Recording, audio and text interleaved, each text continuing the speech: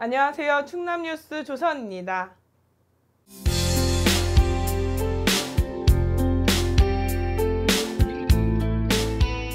천안시청 직장운동경기부 검도팀이 단체전에서 우승을 했습니다.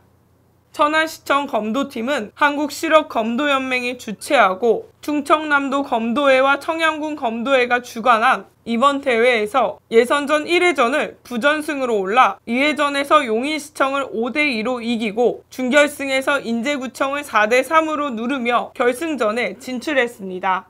결승전에서는 창원시청과 2대2로 동점인 상황에서 1득점 차로 승리하며 극적으로 금메달을 획득했습니다. 지금까지 충남뉴스 조선이었습니다.